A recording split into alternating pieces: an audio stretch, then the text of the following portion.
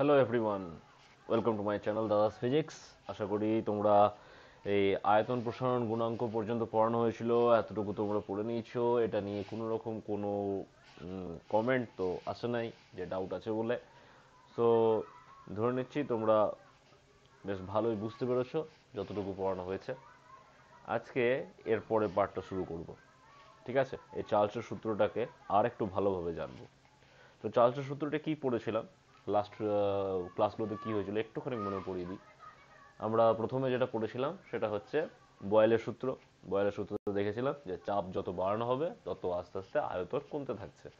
চার্লসের সূত্রে যেটা দেখেছি সেটা হচ্ছে টেম্পারেচার যদি বাড়ানো হয়, তাহলে তার ভলিউম বাড়তে থাকছে। কীরকম ভাবে বাড়ছে? বলছে এক ডিগ্রি সেন্টিগ্রেড উষ্ণতা বাড়ানো হলে বা কমানো হলে শূন্য ডিগ্রি সেন্টিগ্রেড উষ্ণতায় যে ভলিউমটা হয়, তার একের দুশো তিয়াত্তর অংশ বাড়ছে বা কমছে? আর ওই একের দুশো তিয়াত্তরটাকে কি বলা হয়েছে? আয়তন, প্রসারণ গুণাঙ্ক বা ভলিউম এক্সপানশন কোফিসিয়েন্ট ওকে? এবার আজকে এই চার্লসের সূত্রটা কার ডিটেলসে জানব? আমরা এখানে পেয়ে গেছি যে চার্লসের সূত্রের গাণিতিক রূপটা। এখানে আমাদের কাছে অলরেডি আছে চার্লস সূত্রের গাণিতিক রূপটা। এই গাণিতিক রূপটা কি? হচ্ছে VT is equal to V zero plus minus T by দুশো তিয়াত্তর। ঠিক আছে? এই হচ্ছে আমাদের চার্লসের সূত্রের গাণিতিক রূপ। তো এই চার্লসের সূত্রের গাণিতিক রূপ থেকে আমরা এর গ্রাফটা আজকে আগে ড্র করব। গ্রাফ ড্র করতে গেলে তোমরা তো জানো, দুটো অ্যাক্সিস লাগবে আমাদের, ঠিক আছে? যেরকম এক্স ওয়াই অ্যাক্সিস নিই, সেই রকমই এক্স ওয়াই একটা অ্যাক্সিস নেব। কিন্তু এখানে ওয়াইয়ের জায়গায় থাকবে ভলিউম, ঠিক আছে? এই ভিটি আর এক্সের জায়গায় থাকবে টি অর্থাৎ টেম্পারেচারটা কিসের টেম্পারেচার থাকবে? ডিগ্রি সেন্টিগ্রেডে থাকবে ওকে তো এবার যদি মনে করো আমরা একদম সহজ যেভাবে গ্রাফ প্লট করে সেরকম ভাবেই করব, ঠিক আছে? খুব সহজ। ভালো করে একটুখানি বুঝবে তাহলেই হবে। এখানে টেম্পারেচার থাকবে টি ইন ডিগ্রি সেন্টিগ্রেড আর এইখানে ভলিউমটা থাকছে ভিটি ওকে আমি টেম্পারেচারটাকে প্রথমেই শূন্য ডিগ্রি সেন্টিগ্রেডে সেট করছি ওকে শূন্য ডিগ্রি সেন্টিগ্রেডে সেট করব। তাহলে এই ইকুয়েশনে টি এর জায়গায় যদি জিরো পুট করো, তাহলে এই ইকুয়েশনটাকে সলভ করছি। এই টি এর জায়গায় জিরো পুট করছি। টি এর জায়গায় জিরো পুট করলে কি হবে? ভি টি এটা is equal to V naught into one plus বা মাইনাস যাই হোক টি বাই দুশো তিয়াত্তর মানে শূন্য বাই দুশো তিয়াত্তর মানে শূন্যই পাবো। তাহলে এটা ইজ ইকুয়াল টু কি হয়ে গেল? ভি জিরো ঠিক আছে? তাহলে V T is equal to V zero বা ভি নট যা বলবে, ঠিক আছে? ভি নট বলা হয় অ্যাকচুয়ালি তো কেউ কেউ ভি জিরো বলতেই পারো, তাতে কোনো অসুবিধা নাই। তো তাহলে আমি এখানে প্রথম যে পয়েন্টটা পাচ্ছি, সেটা কি? সেটা হচ্ছে টিটাকে আমি এক্সের মতো করে ধরেছি, ভিটিটাকে এর মতো করে ধরেছি, তাহলে এটা শূন্য কমা ভি জিরো তো শূন্য, তাহলে এক্স অ্যাক্সিস শূন্য তো এই জায়গায়, আর ভি জিরোটা তো এই উপরের দিকে থাকবে, তার কারণ ওয়াই অ্যাক্সিস আমি ভি জিরোকে নিয়েছি। তাহলে এটাই হচ্ছে সেই পয়েন্টটা যেটা হচ্ছে শূন্য কমা ভি জিরো তাহলে এটা হয়ে গেল ভি জিরো এরপরে আমি যদি যে কোনো পয়েন্ট নিই, যে কোনো পয়েন্ট আমি যদি নিই, বা দুশো তিয়াত্তরই মনে করে নিয়ে নিলাম আমি। এবার দুশো তিয়াত্তর ডিগ্রি সেন্টিগ্রেড আমি প্লাস দুশো তিয়াত্তর, এরকম যদি অ্যাপ্লাই করি তাহলে কি হবে? তাহলে দুশো তিয়াত্তর যদি এবার অ্যাপ্লাই করি, তাহলে ভিটি এটা is equal to V naught into one plus দুশো তিয়াত্তর বাই দুশো তিয়াত্তর মানে হচ্ছে ওয়ান তাহলে টু ভি নট তাহলে কি হবে? এটা ডবল হয়ে যাবে। তার মানে এরকম কোনো একটা জায়গাতে যদি দুশো তিয়াত্তর ডিগ্রি সেন্টিগ্রেড এরকম যদি নিই, তাহলে সেক্ষেত্রে ভি নটটা একদম ডবল হয়ে যাবে। তো আমি বুঝতেই পারছি, তাহলে সেক্ষেত্রে এটা দুশো তিয়াত্তর হবে আর এটা টু ভি নট হবে। তাহলে এক্স কমা ওয়াই যেভাবে নিতে হয়, এখান থেকে দুশো তিয়াত্তর ঘর পর্যন্ত গেলাম আর এই উপরের দিকে ভি নট পর্যন্ত গেলাম, তাহলে এই হলো আরেকটা পয়েন্ট তো এর, এই বাকি পয়েন্টগুলো কিন্তু এর মাঝেই থাকবে। তাহলে আমি এই এতটুকু অবধি পেয়ে যাচ্ছি যে গ্রাফটা এরকম একটা সরল রেখা হবে, যেটা এরকম ভাবে যাবে। যার এখানে একটা পয়েন্ট থাকবে, যেটা হচ্ছে টু ভি জিরো, যখন দুশো তিয়াত্তর ডিগ্রি সেন্টিগ্রেড আমি করব তখন। এবার যদি আমি এই জায়গাটাতে, এই টি এর জায়গাতে যদি মাইনাস দুশো তিয়াত্তর বসাই মাইনাস দুশো তিয়াত্তর ডিগ্রি সেন্টিগ্রেড তাহলে ভিটিটা কি হবে? দেখো, এবার টি এর জায়গায় মাইনাস দুশো তিয়াত্তর ডিগ্রি সেন্টিগ্রেড যদি বসাই, তাহলে আমার এখানে দুশো তিয়াত্তর দুশো তিয়াত্তর ওয়ান তো হচ্ছে, কোনো অসুবিধা নাই, কিন্তু VT is to V zero into one minus one হয়ে যাবে, ঠিক আছে? কারণ প্লাস আছে, আমি মাইনাস বসাচ্ছি মানে কমাচ্ছি, তো কমানোর জন্য নেগেটিভ সাইনটা আসবে ওয়ান মাইনাস ওয়ান তার মানে জিরো তার মানে এবার আয়তনটা শূন্য হয়ে গেল। তার মানে এরকম কোনো একটা জায়গাতে একটা টেম্পারেচার থাকবে, ঠিক আছে? যে টেম্পারেচারটা কত? মাইনাস দুশো তিয়াত্তর ডিগ্রি সেন্টিগ্রেড সেটা যদি করা হয়, তাহলে সেখানে কিন্তু ভলিউমটা গিয়ে পড়ে শূন্য হয়ে যাচ্ছে, দেখতেই পাচ্ছ? ঠিক আছে? এই যে টেম্পারেচারটা যেখানে গিয়ে ভলিউমটা শূন্য হয়ে যাচ্ছে, এই টেম্পারেচারটাকে বলা হয় পরম শূন্য উষ্ণতা। এটাকে বলা হয় পরম শূন্য উষ্ণতা, ঠিক আছে? ইংলিশে কি বলে? ইংলিশে বলে অ্যাবসলিউট জিরো টেম্পারেচার এটা বলা হয়, ঠিক আছে? আজকে আমরা প্রথমে এই কোশ্চেনটারই অ্যান্সার জানব, যে বয়েল ইয়ে আমাদের চার্লসের সূত্র থেকে পরম শূন্য উষ্ণতার সংজ্ঞা দাও। তাহলে পরম শূন্য উষ্ণতা আসলে কি? পরম শূন্য উষ্ণতা হচ্ছে এমন একটা উষ্ণতা যে উষ্ণতাতে আমি যদি যাই, তাহলে গ্যাসের আয়তন মানে এই যে গ্যাসগুলো নিয়ে আমরা আলোচনা করছি, বয়েল এবং চার্লসের সূত্রে সেই গ্যাসের আয়তনটা শূন্য হয়ে যাবে, ঠিক আছে? সেই উষ্ণতাটাকেই বলা হয় পরম শূন্য উষ্ণতা, ঠিক আছে? তাহলে এবার পরম শূন্য উষ্ণতার ডেফিনেশনটা লিখে ফেলব। পরম শূন্য উষ্ণতার ডেফিনেশন কি? পরম শূন্য উষ্ণতার ডেফিনেশন হচ্ছে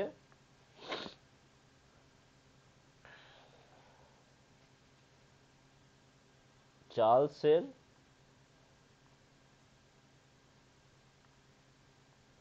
সূত্র অনুসারে কোনো গ্যাসের চাপ স্থির রেখে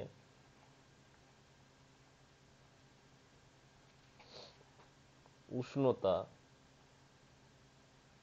মাইনাস দুশো তিয়াত্তর ডিগ্রি সেন্টিগ্রেড করলে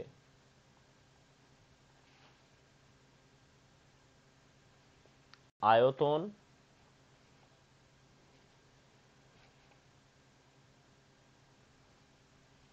আয়তন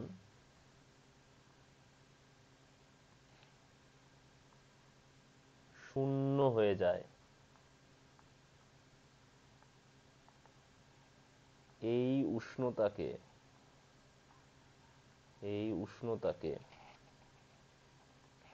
পরম শূন্য উষ্ণতা বলে ওকে পরম শূন্য উষ্ণতা বলে। সেটা আমরা এখানে ছোট্ট করে দেখিয়েও দিতে পারি যে VT equal to V naught one plus T by দুশো তিয়াত্তর। তো টি এর জায়গায় আমি যদি পুট করি মাইনাস দুশো তিয়াত্তর ডিগ্রি সেন্টিগ্রেড তাহলে ভিটি এটা ইকুয়াল টু আমি পেয়ে যাব শূন্য ওকে তবে এই দুশো তিয়াত্তরটা কিন্তু অ্যাকচুয়াল ভ্যালু নয়। দুশো তিয়াত্তরের অ্যাকচুয়াল ভ্যালু পরম শূন্য উষ্ণতা অ্যাকচুয়ালি কত হয় সেটা এখানে লিখে যাচ্ছি আমি। পরম শূন্য উষ্ণতা সমান মাইনাস দুশো তিয়াত্তর point one five degree centigrade এটা হচ্ছে অ্যাকচুয়াল ভ্যালু তবে আমরা মাইনাস দুশো তিয়াত্তর লিখে অঙ্কগুলো করছি।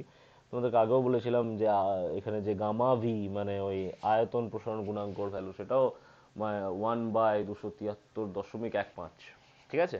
তো সেই একই রকম রকমভাবে এটাও সেই একই জিনিসটা ফলো করছে। তো মাইনাস দুশো তিয়াত্তর পয়েন্ট ওয়ান ফাইভ এটা তোমরা মনে রাখতে পারো।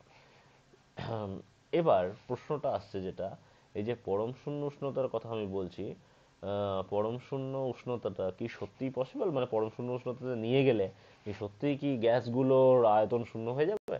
তো এর উত্তর হচ্ছে না। মানে আমাদের এখানে প্রশ্নটা কি এলো? প্রশ্নটা হচ্ছে যে, বাস্তবে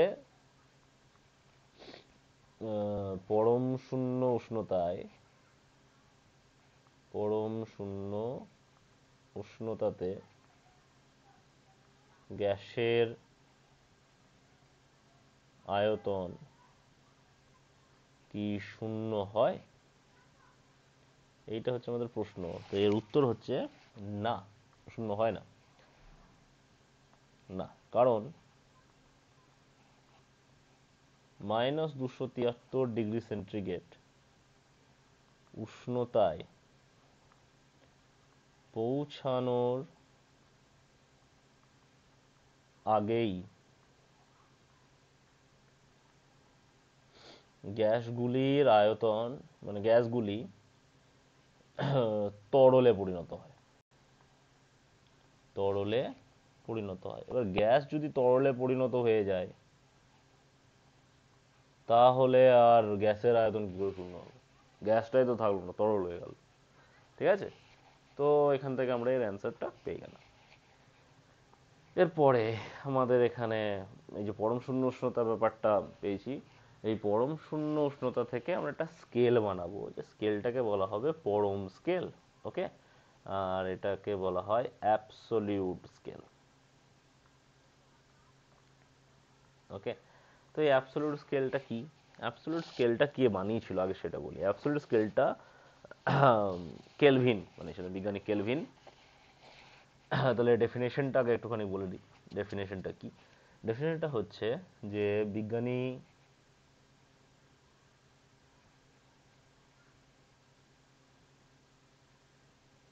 কেলভিন উষ্ণতার একটি নতুন স্কেল দেন, প্রবর্তন করেন বেটার প্রবর্তন করেন, যার শূন্য বিন্দু এই শূন্য বিন্দুর মানে হচ্ছে যেখান থেকে আমি ক্যালকুলেশন শুরু করব শূন্য বিন্দু যেমন জিরো ডিগ্রি সেন্ট্রিগেট ওটা হচ্ছে শূন্য বিন্দু ফারেনহাইট স্কেলে থার্টি টু ডিগ্রি ফারেনহাইট এটা হচ্ছে শূন্য বিন্দু তোমাদের বাড়িতে যে থার্মোমিটার আছে। সেই থার্মোমিটারে যদি দেখো, দেখবে একটা শূন্য ডিগ্রি সেন্ট্রিগেট আছে আর একটা থার্টি টু ডিগ্রি ফারেনহাইট আছে। ঠিক আছে? মানে ওখান থেকে থার্টি টু ডিগ্রি ফারেনহাইট থেকে শুরু হচ্ছে। ওই যেখান থেকে শুরু হচ্ছে ক্যালকুলেশনটা ওটাকে শূন্য বিন্দু বলে। শূন্য বিন্দু ধরা হয় মাইনাস দুশো তিয়াত্তর ডিগ্রি সেন্টিগ্রেড ওকে মানে মাইনাস দুশো তিয়াত্তরকে শূন্য ধরে নেওয়া হলো। তারপর থেকে এবার বাড়ালে এক, দুই, তিন চার এরকম থাকবে কে এবং প্রতি ডিগ্রির প্রতি ডিগ্রির মান ধরা হয়, মান ধরা হয় সেলসিয়াস স্কেলের সমান। সেলসিয়াস স্কেলের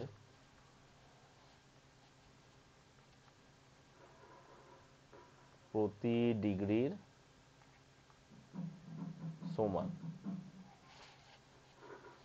এই স্কেলকে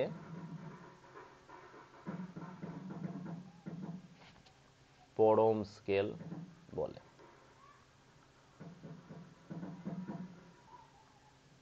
পরম স্কেল বলে। সেলসিয়াসের সঙ্গে সম্পর্ক কি? পরম স্কেলে টি কেলভিন দিয়ে রিপ্রেজেন্ট করা হয়, ঠিক আছে? এটা ইজ ইকুয়াল টু দুশো তিয়াত্তর প্লাস টি ঠিক আছে? এত কে কে মানে কি? কে মানে হচ্ছে কেলভিন কেলভিন দিয়ে রিপ্রেজেন্ট করা কে দিয়ে রিপ্রেজেন্ট করা হয়। আর টি হচ্ছে ডিগ্রি সেন্টিগ্রেড এটা হচ্ছে সম্পর্ক। তার মানে আমি এখান থেকে বলতে পারি, সাতাশ ডিগ্রি সেন্টিগ্রেড কে যদি আমি পরম স্কেলে বলি, পরম স্কেলে কত হবে? দুশো তিয়াত্তরের সঙ্গে সাতাশ যোগ করে দাও। ওকে যোগ করলে হয়ে যাবে কত? তিনশো কেলভিন যদি আরও আমি নিই সাতাত্তর ডিগ্রি সেন্টিগ্রেড। কী হবে? দুশো তিয়াত্তরের সঙ্গে সাতাত্তর যোগ করে দাও। যোগ করে দিলে আমার এখানে কত হবে? শূন্য, এখানে সাথে সাথে চোদ্দ পনেরো, এক, তিনশো পঞ্চাশ কেলভিন। এই এরকম ভাবে আমরা পাবো। ঠিক আছে? এরভাবে সেন্ট্রিগেট থেকে কেলভিনে কনভার্ট করতে পারব। আবার এটা তোমরা নিজেরা দেখবে দুশো নব্বই কেলভিন, দুশো নব্বই কেলভিন কে সেন্ট্রিগেটে কত হবে? এখান থেকে দুশো তিয়াত্তর জাস্ট বাদ দেবো। দুশো তিয়াত্তর বাদ দিলে কত হয়ে যাচ্ছে? তেরো সতেরো ডিগ্রি সেন্টিগ্রেড ওকে আর যদি চারশো কেলভিন চারশো কেলভিন যদি করি, তাহলে সেটা কত হবে? একশো সাতাশ ডিগ্রি সেন্টিগ্রেড ওকে এই হচ্ছে কনভার্সন এবার কারোর মাথায় প্রশ্ন আসতেই পারে যে এই যে কেলভিন স্কেল কেলভিন স্কেলের কি ঋণাত্মক তাপমাত্রা পাওয়া সম্ভব? কেলভিন স্কেলের ঋণাত্মক তাপমাত্রা পাওয়া যাবেই না। তার কারণ সব থেকে কম, ঠিক আছে? হচ্ছে সব থেকে কম উষ্ণতা বাস্তবে সম্ভব ওই মাইনাস দুশো তিয়াত্তর ডিগ্রি সেন্টিগ্রেড তার থেকে কম উষ্ণতা সম্ভবই নয়। এবার মাইনাস দুশো তিয়াত্তরকে তো আমি জিরো ধরে নিয়েছি, তাহলে কীভাবে আর ঋণাত্মক আমি পাবো? যে এটারও অ্যান্সার আমি এখানে লিখে দিচ্ছি যে কেলভিন স্কেলে কেলভিন স্কেলে ঋণাত্মক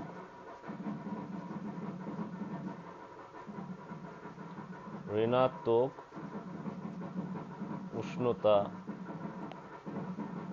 পাওয়া যাবে না। কারণ বাস্তবে দুশো তিয়াত্তর ডিগ্রি সেন্টিগ্রেড, মাইনাস দুশো ডিগ্রি সেন্টিগ্রেডের কম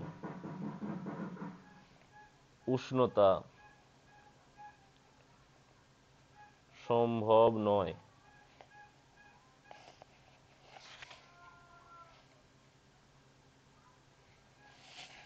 ঠিক আছে?